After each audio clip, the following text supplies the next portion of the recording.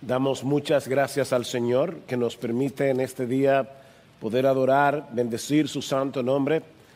Eh, como nación estamos en medio de un proceso electoral, sin embargo nuestro Dios reina, Él es el rey del universo, Él es el soberano y nosotros queremos ahora exaltarle por medio de la predicación de su palabra. Quisiera pedirles en sus casas que vayan conmigo en sus Biblias a Mateo capítulo 22 Evangelio de Mateo, capítulo 22, y voy a leer los versículos 15 hasta el 22.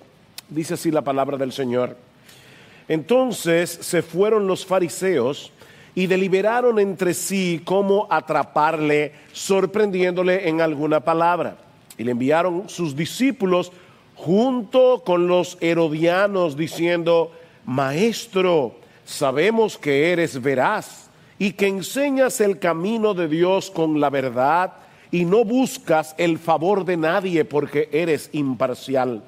Dinos pues, ¿qué te parece? ¿Es lícito pagar impuesto al César o no? Pero Jesús, conociendo su malicia, dijo, ¿por qué me ponéis a prueba, hipócritas? Mostradme la moneda que se usa para pagar este impuesto y le trajeron un denario. Y él les dijo, ¿de quién es esta imagen y esta inscripción? Ellos le dijeron, del César.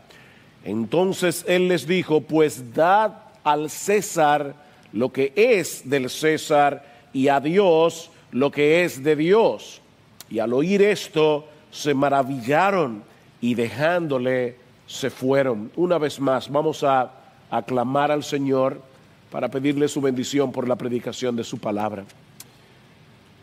Padre bendito, enos aquí en momentos de necesidad. Mira, oh Señor, nuestra nación y míranos a nosotros como cristianos que vivimos en esta nación. Te rogamos, oh Padre bueno, que por encima de la debilidad del predicador tú traigas tu palabra con poder, tú le hables a tu pueblo. Y, oh Señor, Bendícenos en este tiempo de exposición.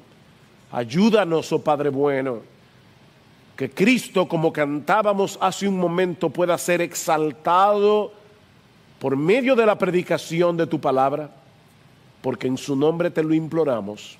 Amén y amén.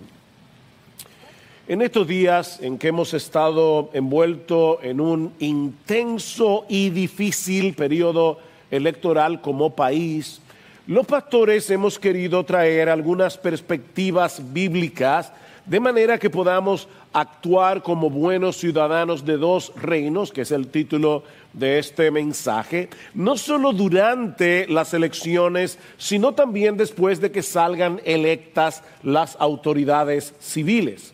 Es por eso que la semana pasada trajimos algunos principios de las escrituras que deben guiarnos a la hora de votar. Bueno, lo que queremos hacer ahora es extraer algunas aplicaciones prácticas de este conocido pasaje del Evangelio de Mateo que nos ayuden a responder piadosamente como ciudadanos que somos de esta nación por la providencia divina, independientemente de los resultados de este proceso electoral. Porque miren mis hermanos, podemos estar seguros, completamente seguros, de que salga quien salga, no vamos a estar completamente satisfechos con todos los candidatos que sean elegidos. Y la pregunta que quisiera responder en esta mañana es, ¿cómo debemos reaccionar los cristianos ante esa realidad? Como ciudadanos que somos, no solamente de esta nación, sino también del reino de Dios. Bueno, las palabras de Jesús en Mateo capítulo 22, versículo 21, nos ayudan a poner esa dualidad en perspectiva. Dad al César lo que es del César, pero dad a Dios lo que es de Dios. Ahora, antes de explicar estas palabras y ver sus implicaciones, permítanme tomar unos minutos para poner este texto en su contexto. Estas palabras del Señor fueron pronunciadas en respuesta a una trampa de los fariseos y los herodianos durante la semana de la pasión, unos días antes de su muerte en la cruz. Vean una vez más los versículos 15 hasta el principio del 16.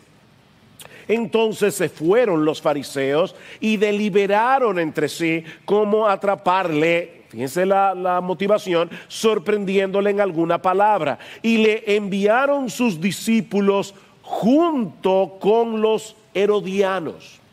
hay, un refrán que dice que aves de una misma pluma vuelan juntas. Bueno, eso es precisamente lo que nosotros tenemos aquí. Un complot unificado entre dos grupos religiosos que tenían un plumaje muy diferente, tanto en su sentido religioso como político. Por un lado estaban los fariseos que representaban el sentir nacionalista de los judíos. Los fariseos resentían el poder de Roma sobre ellos. Por el otro lado estaban los herodianos, que apoyaban ciegamente al rey Herodes, que era el títere de turno que los romanos habían puesto, puesto perdón, sobre el trono de la nación de Israel. Unos eran conservadores, los otros eran liberales. Unos se caracterizaban por su afán de cumplir al pie de la letra los aspectos externos de la ley, los otros eran abiertamente mundanos. Sin embargo, estos dos grupos tenían algo en común. Ambos aborrecían al Señor Jesucristo y querían deshacerse de él. Jesús representaba una amenaza para los dos partidos, mis hermanos, nunca olviden eso. Jesús es una amenaza para los conservadores y para los supuestos progresistas. No me gusta para nada que se use esa palabra para señalar a las personas que se llaman a sí mismos progresistas porque lo quieren llevar al pasado, cuando éramos unos bárbaros. O sea, ellos son retrocistas, pero bueno, los progresistas, Jesús es una, es una amenaza para aquellos que son defensores de la soberanía nacional y para los vendepatria, si son incrédulos. Lo que estoy tratando de decir, mis hermanos, es que no importa de qué lado de la verja se encuentre la incredulidad, siempre será antagónica a Cristo y a su evangelio. Así que estos dos grupos decidieron ponerse de acuerdo para colocar a Jesús en una posición incómoda y peligrosa, tanto delante del pueblo de Israel como delante de las autoridades romanas. Vean en la mitad del versículo 16. Viene esta comitiva y le dice al Señor, Maestro, ellos comienzan con un halago, sabemos que eres veraz y que enseñas el camino de Dios con verdad y que no buscas el favor de nadie porque eres imparcial. Dinos pues qué te parece. ¿Es lícito pagar impuesto al César o no? Este impuesto del que ellos están hablando aquí era un denario que todos los varones adultos de Israel debían pagar una vez al año. De esa manera los romanos tenían una idea del tamaño de la población del imperio. De hecho, la palabra que se traduce como censo en nuestras Biblias es una transliteración de la palabra latina censo, de donde viene nuestra palabra censo en español. Era de esa manera que los romanos hacían su censo a través de este pago del impuesto. Ahora, Recuerden que, en el antiguo pacto Israel era una teocracia. Eso significa que Dios era el rey de Israel. Dios era su máxima autoridad. De manera que el gobierno de Roma sobre ellos no solo era un ataque directo a su independencia nacional, sino que al mismo tiempo representaba para ellos un serio problema religioso. ¿Debían ellos someterse a la dominación de un imperio pagano? Para colmo de males, el denario, que era la moneda que se usaba para pagar el impuesto, tenía impresa la imagen del César y una inscripción que lo proclamaba como un dios. Así que los judíos no solo odiaban este impuesto, sino que también odiaban la moneda y lo que esa moneda representaba. De hecho, a través de la historia, este impuesto había tenido muchos, había levantado muchos conflictos en la nación de Israel contra los romanos. Así que este era un tema candente que era difícil abordar sin despertar fuertes emociones entre los judíos. Ahora, fíjense cómo ellos habían puesto a Jesús entre la espada y la pared. Si Jesús respondía que sí, que debían pagar el impuesto, los fariseos iban a acusarlo de ser un Mesías fraudulento que estaba claudicando ante el poder de Roma. Si decía que no, que no debían pagar los impuestos, los herodianos podían acusarlo ante los romanos de que él estaba fomentando una religión. ¿Se dan cuenta? Era, era una situación de perder, perder. O Jesús perdía la popularidad frente a los judíos, o se arriesgaba a perder su vida. Era una trampa sumamente astuta de la de la que era casi imposible escapar, excepto para Jesús. No, olviden que Pablo dice del Señor Jesucristo en Colosenses capítulo 2, versículo 3, que en Él están escondidos todos los tesoros de la sabiduría y del conocimiento. Y Cristo no solo pudo librarse de la trampa, sino que al mismo tiempo aprovechó la oportunidad para presentar en una forma breve, sencilla, su perspectiva sobre la relación entre el poder político y el poder espiritual. Una de las cosas que más me sorprenden del Señor Jesucristo es lo mucho que Él puede decir en tan pocas palabras. Porque esa expresión, dad al César lo que es del César y a Dios lo que es de Dios, solo tiene 10 palabras en el original. Y es impresionante todo el cúmulo de información que hay en esa expresión. Hay varias implicaciones en esta respuesta de Jesús que nos ayudan a entender cómo deben relacionarse los cristianos con el gobierno civil. Y eso es precisamente lo que vamos a estar considerando en el resto de este mensaje, las, la respuesta de Jesús y sus implicaciones. Versículo 18. Pero Jesús, conociendo su malicia, dijo, ¿por qué me ponéis a prueba, hipócritas? Mostradme la moneda que se usa para pagar este impuesto. Y le trajeron un denario. Y él les dijo, ¿de quién es esta imagen y esta inscripción? Ellos le dijeron, del César. Entonces él les dijo, pues dad al César lo que es del César y a Dios lo que es de Dios. Y al oír esto se maravillaron y dejándole se fueron. Yo sé, mis hermanos, que estas palabras son muy conocidas. De hecho, este es uno de los dichos más famosos, más citados de nuestro Señor Jesucristo. Sin embargo, yo pienso que algunas de las implicaciones de esta declaración tal vez no resulten tan evidentes para algunos, o tan evidentes, exacto, para algunos. La primera es, la primera implicación, es que debemos respetar y obedecer las autoridades civiles bajo la suprema autoridad de Dios. Esa es la primera implicación. Nosotros debemos respetar al gobierno bajo la suprema autoridad de Dios. Con esta sencilla declaración, el Señor no solo estaba reconociendo la legitimidad del gobierno civil, incluso de un gobierno pagano como el de Roma, sino también la responsabilidad que nosotros tenemos como cristianos de soportar el gobierno con el pago de nuestros impuestos, aunque eso no nos guste. Mis hermanos, fue Dios el que instituyó los gobiernos humanos para beneficio del hombre, porque siempre, siempre, siempre, invariablemente, será mejor estar bajo, autoridad que vivir en anarquía, aún en aquellos casos en los que el gobierno es un mal gobierno.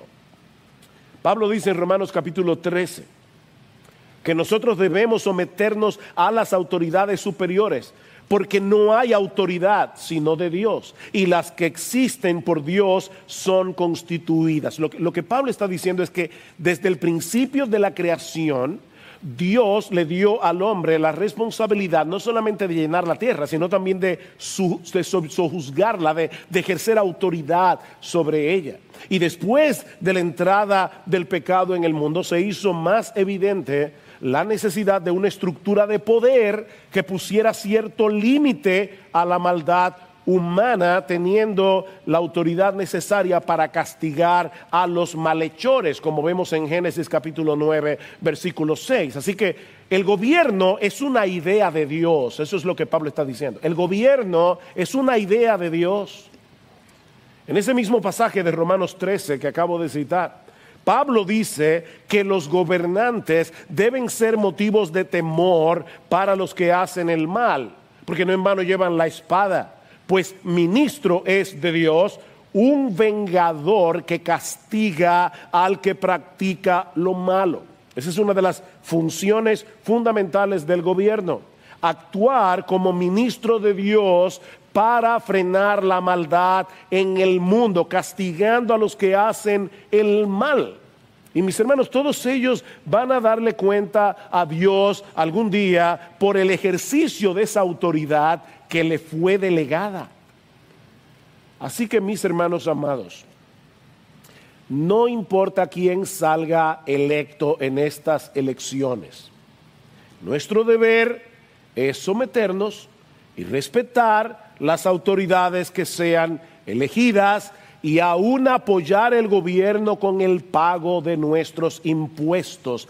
Debemos devolver al César lo que es del César, porque el gobierno hace una labor que solo puede sostenerse con el pago de los impuestos de los ciudadanos.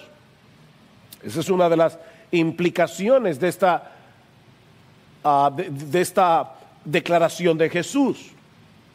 Todo creyente tiene la responsabilidad de ser un buen ciudadano de la nación en, la que le haya tocado vivir, independientemente de lo bueno o lo malo que puedan ser los gobernantes de turno. Cuando Pablo escribió Romanos 13, de Romanos, el que gobernaba el imperio era Nerón un hombre cruel, un hombre inestable que desató la primera persecución oficial contra los cristianos en el siglo primero. Pero aún así Pablo dice a estos creyentes que vivían en la, en la capital del imperio, que se sometieran a las autoridades y que pagaran sus impuestos, dice Pablo más adelante, pagad a todos lo que debáis.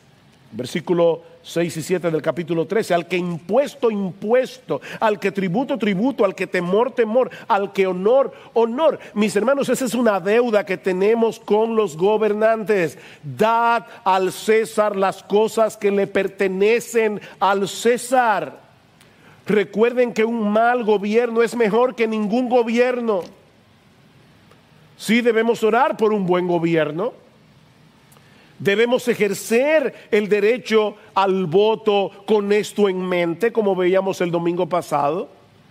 Pero gane quien gane en estas elecciones, debemos someternos a su autoridad. Esa es la voluntad expresa de Dios en su palabra. Si los creyentes del primer siglo debían apoyar al gobierno de Roma con sus impuestos, yo me pregunto, ¿existe algún otro gobierno que nosotros no podamos apoyar con el nuestro? ¿Con nuestro impuesto? No se olviden, mis hermanos, que ese fue el gobierno que ejecutó la sentencia de muerte sobre Cristo. Ese fue el gobierno que martirizó a un montón de cristianos durante los primeros tres siglos de la historia de la iglesia. Y aún así Pablo dice, ¿saben qué? Páguenle sus impuestos a ese gobierno. Como dice Mark Dever, es como si Jesús estuviera diciéndole a los judíos, paguen sus impuestos, aunque con ese mismo dinero ellos van a pagar el salario de los que traspasarán mis manos y mis pies en la cruz del Calvario. No porque lo que ellos están haciendo sea correcto, sino porque la existencia del gobierno refleja el carácter de Dios. Ese mismo gobierno iba a traspasar a Cristo en la cruz y Cristo está diciendo, paguen los impuestos. Paguen sus impuestos. Pero en segundo lugar, también aprendemos de este pasaje que si bien podemos separar la iglesia y debemos separar la iglesia y el Estado, de ninguna manera podemos separar la religión y la política. Voy a repetir eso otra vez porque yo creo que hay personas que no entienden este concepto. Nosotros debemos separar la iglesia y el Estado, pero de ninguna manera podemos separar la religión de la política. Hermanos, déjenme hacerles una pregunta. La respuesta de Jesús en Mateo 22, 21, ¿era política o era teológica? Esta respuesta era política o era religiosa. Data al César lo que es del César y a Dios lo que es de Dios. Respuesta. ¿Era político o religiosa? Respuesta. Eh, sí. Sí. No se trata de una cosa o la otra. Son las dos cosas a la vez. Cuando el Señor toma la moneda en su mano, y le pregunta a los judíos, ¿de, quién es esta imagen? Eh, ellos responden, de César. El Señor estaba tratando de hacer una conexión aquí, que es tanto política como religiosa, entre la imagen y nuestro deber. La moneda tenía la imagen del César porque él fue que acuñó esa moneda. Esa moneda representaba el poder que el César o Roma tenía sobre ellos como nación. Esa es la parte de la respuesta que tiene connotaciones políticas. El hecho de que ellos tuvieran que hacer uso de una moneda que tenía impresa, grabada la imagen del César, era un recordatorio constante de la autoridad que Roma tenía sobre Israel. Así que ellos no tenían más opción que pagar el impuesto del imperio. Pero esa no era la única obligación que ellos tenían, ¿verdad? Dad al César lo que es del César, pero dadle a Dios lo que es de Dios. Y la pregunta es, ¿y qué es lo que le pertenece a Dios? Bueno, aquello que lleva su imagen.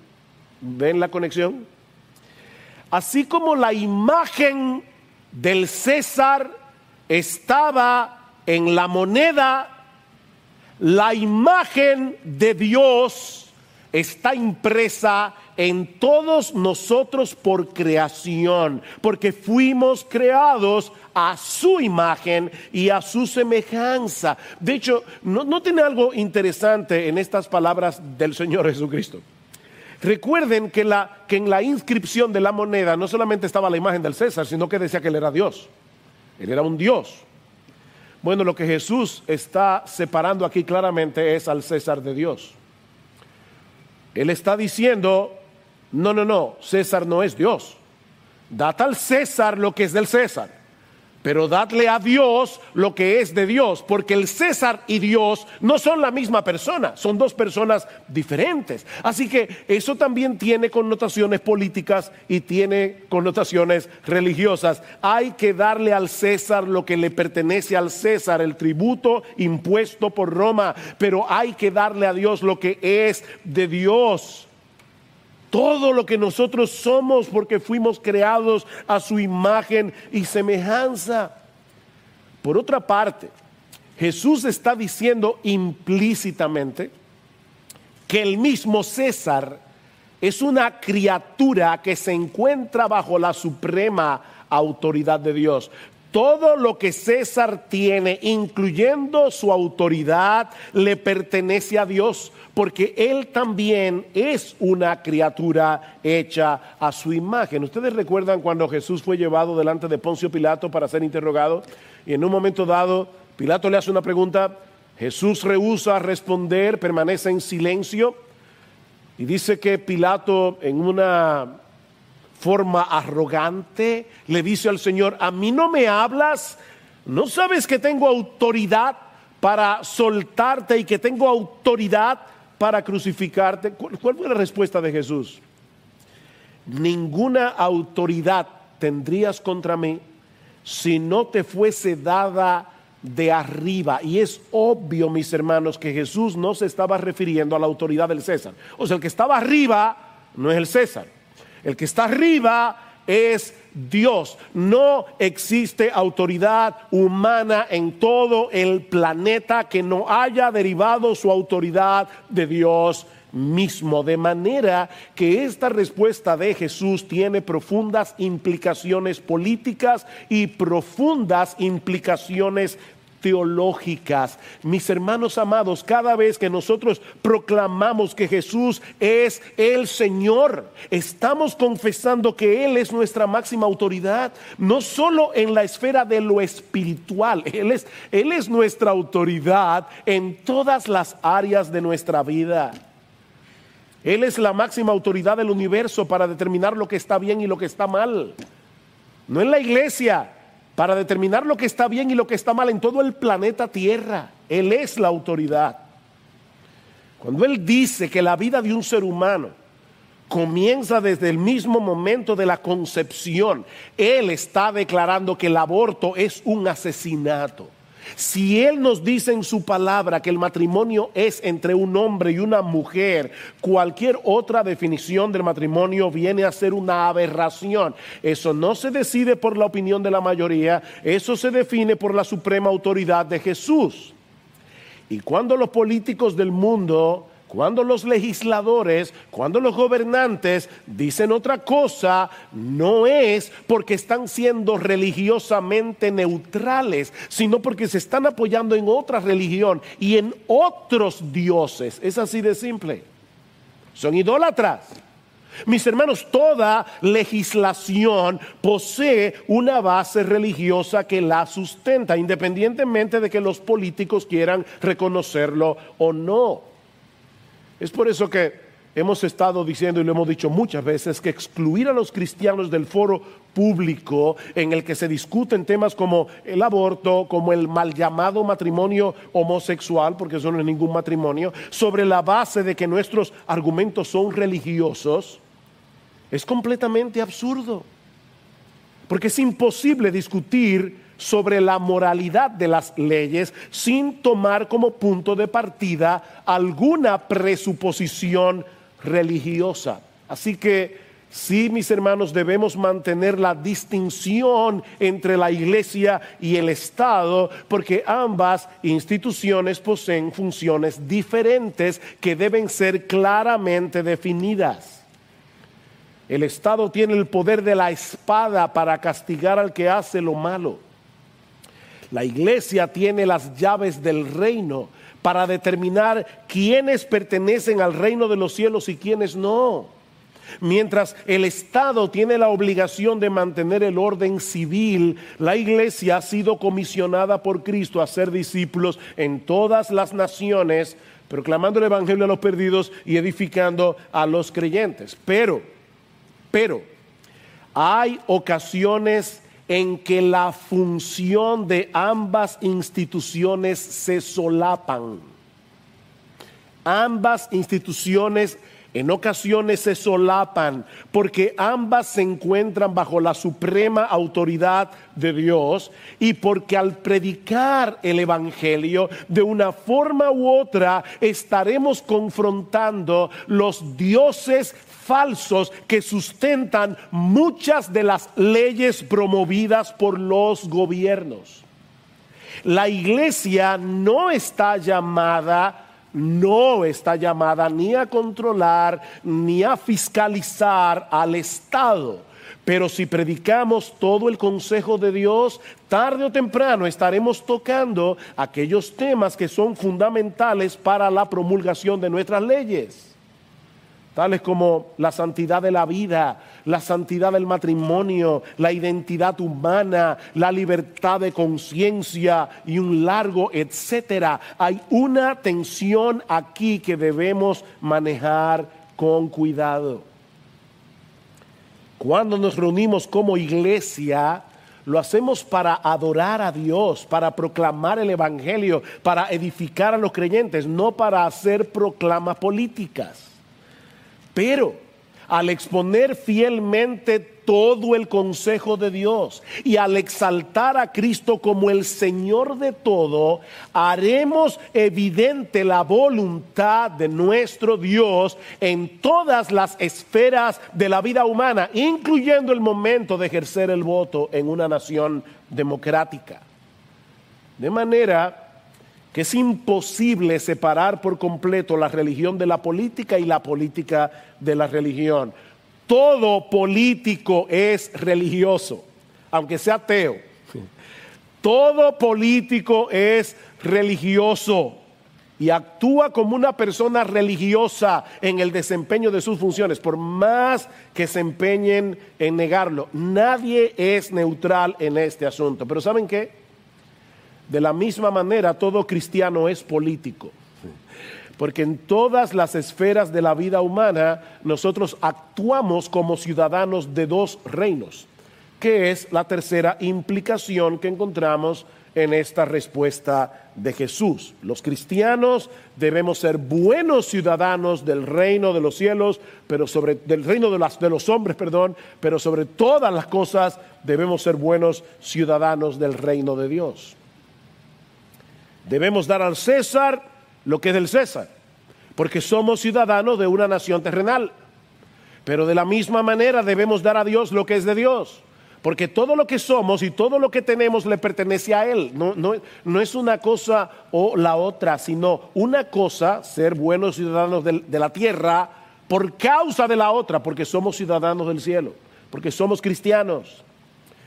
De hecho, y voy a decir algo que a algunos les puede parecer extraño. Solo los cristianos estamos capacitados por la gracia de Dios para ser buenos ciudadanos del reino de los cielos. Bueno, eso es evidente, nadie va a cuestionar eso. Es más que evidente que solo los cristianos podemos dar a Dios lo que es de Dios, ¿verdad? Lo que no parece tan evidente es que solo los cristianos podemos ser buenos ciudadanos del reino de los hombres. Porque solo los cristianos podemos de corazón dar al César lo que es del César. De corazón. Porque entendemos que al hacerlo estamos actuando en obediencia a nuestro supremo Rey y Señor. O sea, nosotros somos buenos dominicanos porque tenemos a Jesucristo como nuestro Rey. O debemos ser buenos dominicanos porque tenemos a Cristo como nuestro Rey. Debemos aprender a vivir como buenos ciudadanos de ambos reinos. Somos ciudadanos del reino de Dios que tenemos al mismo tiempo una ciudadanía terrenal. Tú no naciste en una nube, mi hermano. Tú naciste, si eres dominicano, en República Dominicana, si eres chileno, en Chile, si eres uruguayo, en Uruguay, y así por el estilo. ¿Qué dice Proverbios capítulo 24, versículo 21? Teme al Señor y al Rey yo, no puedo elegir entre una cosa o la otra. Teme al Señor y al Rey. Como dominicanos debemos vivir de tal manera que podamos mostrar en todo que somos ciudadanos del reino de los cielos, o, como dice Pablo en Filipenses capítulo 1, versículo 27. En todo lo que hacemos, aún como dominicanos, a la hora de votar, por ejemplo, debemos comportarnos de una manera digna del Evangelio, dice Pablo, de una manera digna del Evangelio. El teólogo Albert Moller lo dice de esta manera. Los cristianos vivimos simultáneamente como ciudadanos de dos ciudades, una ciudad celestial y una terrenal. Una es eterna, la otra es pasajera, pero la ciudad terrenal es también el objeto de la benevolencia y de la compasión de Dios, como cristianos somos instruidos en la Biblia a trabajar por el bien y el florecimiento de esta ciudad terrenal, así como trabajamos tanto como nos sea posible para que muchos vengan a ser ciudadanos de la ciudad celestial por medio de la fe en Cristo Jesús. Ven, buenos ciudadanos de ambos reinos. Pero finalmente, también aprendemos de este pasaje que la autoridad delegada del gobierno civil es limitada por la suprema autoridad de Dios. La autoridad delegada por Dios al gobierno civil es limitada por la suprema autoridad de Dios. Hay que dar al César lo que es del César, pero hay que dar a Dios lo que es de Dios. Y una autoridad está por encima de la otra. De manera que si la obediencia al César riñe con la autoridad suprema de Dios, entonces no hay opción. Tenemos que obedecer a Dios antes que a los hombres, como dijeron los apóstoles en Hechos capítulo 5, versículo 29. Mis hermanos, los cristianos...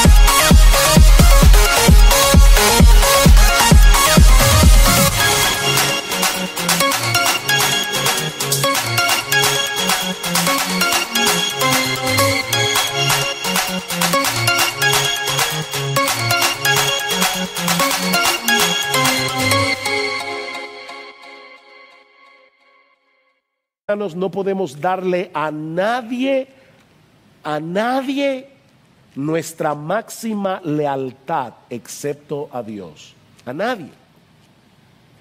Él está por encima de todos los reyes, de todos los presidentes, de todos los legisladores. Y debemos tener el coraje de vivir y predicar a la luz de esa realidad sin importar lo que eso implique. Esa fue la oración de la iglesia en el primer siglo cuando fueron amenazados por las autoridades religiosas y le pidieron que se callaran la boca, que no predicaran más la palabra del Señor. ¿Saben lo que ellos le pidieron al Señor en oración? Señor, considera sus amenazas y permite que tus siervos hablen tu palabra con toda confianza. Esa fue su oración. Danos coraje, Señor, danos valentía. Oh, mis hermanos, quiere el Señor concedernos ese mismo anhelo y esa misma petición, porque no siempre será fácil ser un buen ciudadano de estos dos reinos, pero cuando tengamos que escoger entre una lealtad o la otra, no tenemos ni siquiera que pedir sabiduría, porque ya sabemos lo que hay que hacer. Ni sabiduría hay que pedir. Más bien tenemos que pedir por coraje, tenemos que pedir por valentía para hacer lo que sabemos ya de antemano que tenemos que hacer. Por otra parte, si nuestra...